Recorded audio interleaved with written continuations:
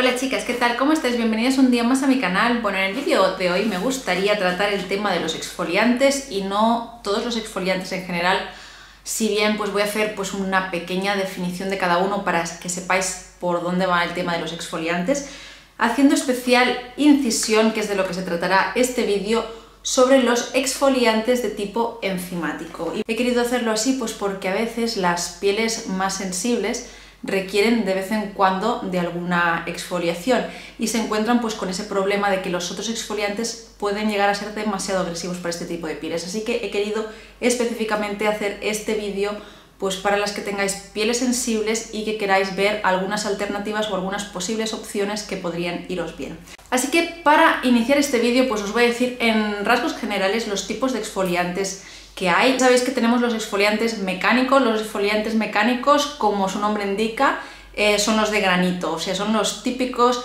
que tienen esas particulitas que nos permiten pues frotar y arrastrar sobre nuestra piel. Pues bueno, una piel muy sensible, este tipo de producto es cierto que puede llegar pues a enrojecerla, si hay cuperosis por ejemplo, pues que se, nos acentúe todos estos capilares sobre la superficie de la piel, cosas desastrosas en definitiva que no queremos eh, vernos sobre nuestra piel. Así que este sería pues el primer tipo de exfoliante, el segundo tipo de exfoliante sería el de tipo químico, dentro del cual pues bueno vamos a incluir estos exfoliantes enzimáticos de los que os estoy hablando.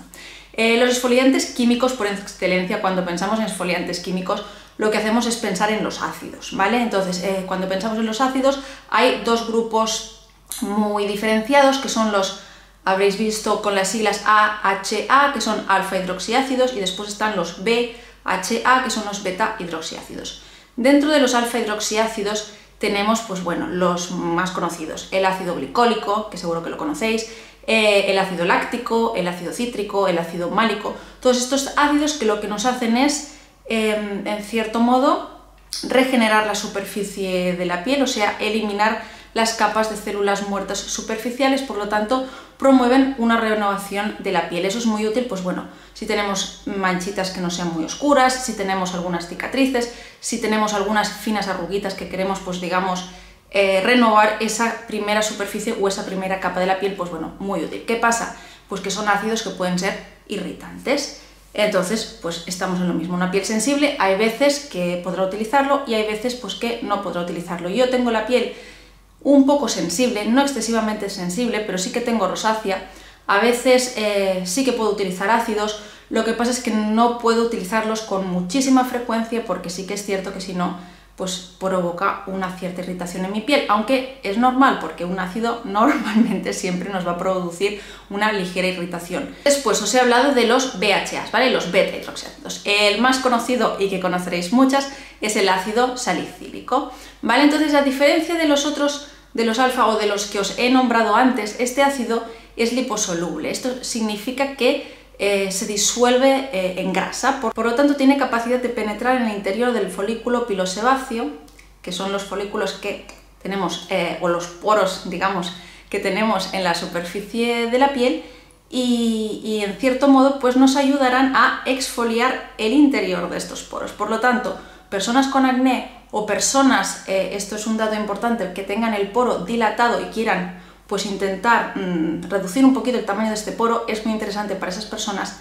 el ácido salicílico, pues porque tienen esta capacidad de limpiar el interior del poro, o sea, de bajar a capas un poquito más profundas dentro del poro y limpiarlo, por lo tanto, ayudar a que se haga más pequeñito. Bueno, vayamos a lo que nos ocupa, que son los exfoliantes enzimáticos. Es un tipo de exfoliante, ya os digo, químico, pero en lugar de ser un ácido, pues son enzimas. Entonces, cuando pensamos en enzimas, lo que nos viene a la mente, pues normalmente es lo que tenemos ya normalmente en nuestro cuerpo, que son, por ejemplo, las enzimas digestivas, ¿no? Las enzimas digestivas, ¿qué es lo que hacen? Se encargan de em, digerir, por decirlo de algún modo, las diferentes, eh, los diferentes nutrientes pues, en partículas más pequeñas, ¿no? Por ejemplo, en tanto un exfoliante enzimático, en cierto modo, lo que hará será digerir lo que son las uniones entre células entre estas células muertas que están en la superficie de la piel, pues para hacer este efecto exfoliante o descamativo, pero ya de un modo mucho eh, menos agresivo. ¿vale? Estos exfoliantes enzimáticos generalmente, ya los veréis pues, en, las, en las diferentes etiquetas, pero tenéis que buscar, generalmente derivan de, frutas tropicales, por ejemplo la piña, la papaya, ¿qué, os hace pensar? No? Pues la papaya, el enzima proteolítico que desintegra estas proteínas es la papaína. Cuando veáis papaína, eso es un exfoliante enzimático. La, la, piña es la bromalina, que en inglés es bromelain, o sea que a veces veréis escrito bromelain en, los, en las etiquetas, es otro em, exfoliante enzimático. Así que si veis alguno de estos dos ingredientes ya tenéis que pensar pues que eh, el exfoliante irá por esta vía de exfoliación enzimática. Entonces, ¿qué es lo para mí más interesante? Pues bueno, esas pieles sensibles que requieran de exfoliación, que de vez en cuando es posible que necesitemos tal vez cada dos semanas o incluso cada tres semanas o una vez al mes, lo que sea que necesite esa piel, pero que requiera de una exfoliación, podemos desprender la capa más superficial de la piel de células muertas para así pues dar más luminosidad a la piel, pues por si tenemos alguna zona con textura, si tenemos algunas marquitas, lo que os vengo diciendo, ¿no? Alguna manchita, alguna cosa muy superficial, pero que queramos Em, pues ir regenerando o ir exfoliando en definitiva nuestra piel de una forma más suave, vamos a ir a buscar productos pues bueno, que tengan estas características. En ese sentido, pues yo os voy a enseñar dos productos que he encontrado en IERP y que he estado utilizando y que me gustan mucho los dos, son algo distintos el enfoque de cada uno, ahora os los voy pues bueno, a explicar eh, de una forma un poquito más detallada.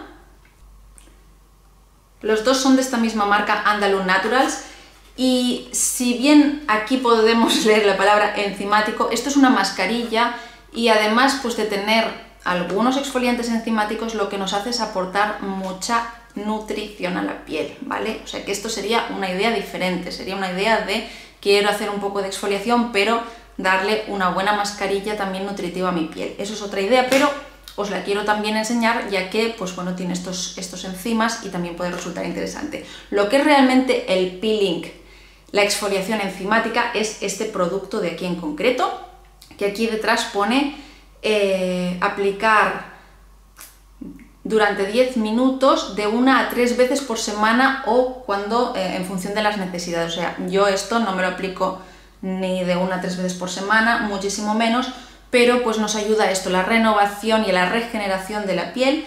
Y os voy a decir, pues bueno, os voy a enseñar y os voy a enseñar por aquí los ingredientes para que podáis verlos.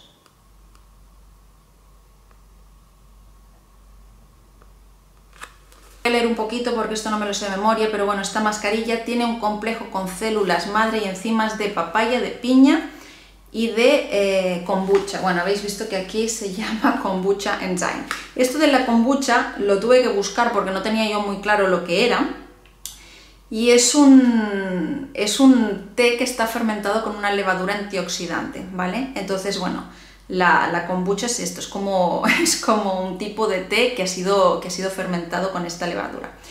Em, entonces, esto es lo que contiene, nos exfolia, dice, suavemente las células muertas de la superficie que pueden obstruir los poros y que también, pues bueno, en definitiva, pueden acabar causando acné. Pero eh, ya os digo, tiene papaya y tiene piña, por lo tanto, pues aquí veréis Mm, veréis en esta zona de aquí, si enfocamos lo de papain y bromelain que os he comentado antes, ¿vale? Entonces, bueno, aparte de esto, tiene, ya sabéis, si no lo sabéis, os lo comento brevemente, pero la línea Andalou Natural se caracteriza porque sus productos tienen como un complejo antioxidante con 8 con ocho vallas diferentes y aquí, pues bueno, son antioxidantes Asai, Aronia, Beerberry, Bilberry, Black Elderberry, Goji, Rose Hitch and Sea Buckthorn. Bueno, em, hay muchos que no, no, sé deciros la traducción, pero yo os digo que son, son bayas antioxidantes, ¿vale? Así que además de, de, bueno, de todos los efectos, tenéis que pensar que también os estaréis poniendo durante esos 10 minutos un producto que tiene efectos antioxidantes sobre la piel, por lo tanto muy interesante y también contiene aloe vera este producto. A mí me gusta mucho, yo como alternativa a los ácidos, porque no siempre puedo utilizar ácidos y ya os digo a veces, em, no lo sé, dependiendo de la época del año, en verano por ejemplo que la piel si utilizamos ácidos puede estar como más sensibilizada al sol, utilizo tal vez un producto más suave y simplemente, em, todo simplemente recomendando esto para aquellas de vosotras que habéis descartado los otros productos. Yo personalmente sí que puedo utilizar ácidos, tanto los alfa como los beta, pero eh, no puedo o no le sienta bien a mi piel que utilice los exfoliantes estos mecánicos, los de los granitos, me irritan mucho la piel, me la dejan muy enrojecida, incluso es un poco problema si tenéis algún granito que esté infectado porque podéis pues abrir ese granito y hacer que se disperse la infección hacia otros, hacia otros poros de la piel, cosa que no sería eh, pues positivo porque podríamos causar granitos e infecciones en otras zonas, por lo tanto cuando el acné está así muy activo no es recomendable utilizar el exfoliante mecánico. Yo en general eh, nunca he tenido buenas experiencias, pero por mi tipo de piel, ¿no? Así que cada uno tiene que buscar un poquito lo que es para su tipo de piel, pero ya os digo, las que la tengáis sensible, podéis echarle un ojo a este tipo de producto, que hay más, eh, yo no sé, yo no los conozco todos, pero ya os digo, os doy las, las claves, es buscar que tengan, pues, por ejemplo, papaína, que tengan bromelaína, que tengan, eh, ¿qué más? Eh, otros de frutas. Mm.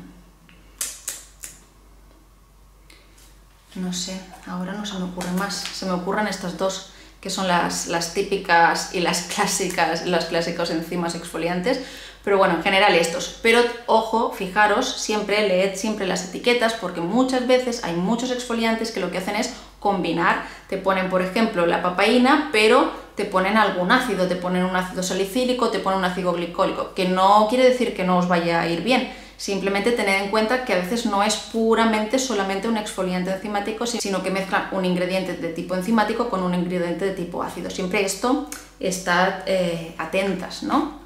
Y siempre, obviamente, podéis hacer la prueba del ensayo y error, probar que funciona bien, que no funciona, pues lo descartamos, ¿no? Pero este en concreto que os he enseñado sí que es solamente enzimático.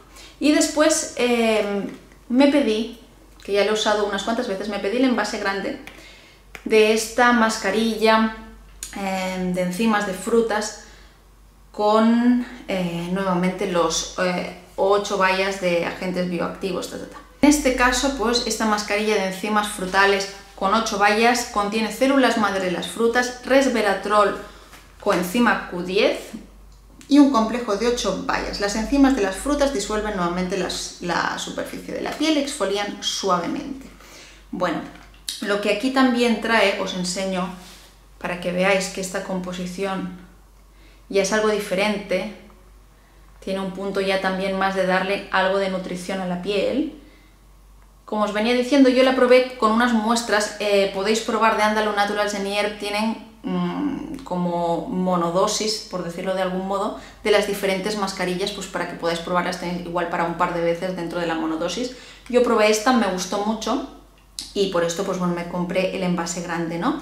Y tiene, aparte del aloe y todo esto, si no recuerdo mal, y las, las células madre, sí, células madre de la fruta, que creo que vienen de la manzana, sí, correcto, viene de la manzana, y después, bueno, tiene eh, papaína, resveratrol, la ubiquinona, que es la coenzima Q10, y bueno, té blanco, extracto de té blanco, extracto de pues bueno, en, definitiva, en definitiva que tampoco me quiero enrollar un montón, ¿no? Pero dice aquí todos estos antioxidantes que contiene, porque el resveratrol, Q10 y el complejo este de Bayer son antioxidantes, todo esto, lo que nos va a ayudar es a reducir o a disminuir la evolución del daño celular y estimular la piel para que eh, para que produzca colágeno y elastina, que es lo que nos va a proporcionar, que es lo que nos va a proporcionar firmeza sobre la piel. Yo he querido incluir este producto concretamente eh, simplemente pues bueno, para eh, una alternativa pues para las que os guste haceros mascarillas, poneros mascarillas. Esta es una mascarilla muy interesante, mm, pensada así que renovar un poquito la superficie de la piel, pero también sobre todo tema antioxidante, ¿no? Pues para que los, las que os gusta probar mascarillas diferentes este de aquí no contiene arcillas, por lo tanto no, no penséis que es para desobstruir poros, limpiar en profundidad, sino más bien para dar ese punto sobre la piel, esa luminosidad, esa, no sé, esa jugosidad, por decirlo así de algún modo. Yo he tenido muy buena experiencia con este producto, por eso he querido pues incluirlo por aquí y también recomendároslo. Nada chicas, hasta aquí este vídeo, espero que os haya sido útil. Disculpadme si en ciertos momentos parece que me falte el aire, pero es que he estado, he estado bastante cansado estos días. De todos modos, mm, me apetecía mucho grabaros este vídeo, quería grabároslo y si puedo lo subiré hoy mismo porque normalmente, hoy es domingo, normalmente subo los vídeos los domingos y también los miércoles, pero últimamente, ya os digo, he estado cansada y no he podido, no he podido grabar. Así que me apetecía hoy subiros este vídeo, espero poder editarlo y bueno, y poderoslo subir tal vez un poquito más tarde. Y, nada, y nada chicas, por eso os digo, disculpadme si a veces parece que tengo que recuperar el aliento, pero este debido pues esto al, al cansancio que he estado sufriendo estos últimos días. Y nada, hasta el próximo día, os mando un besito muy fuerte, gracias por verme, como siempre espero que os haya gustado este vídeo, que os haya podido servir de ayuda y hasta el próximo vídeo. Adiós.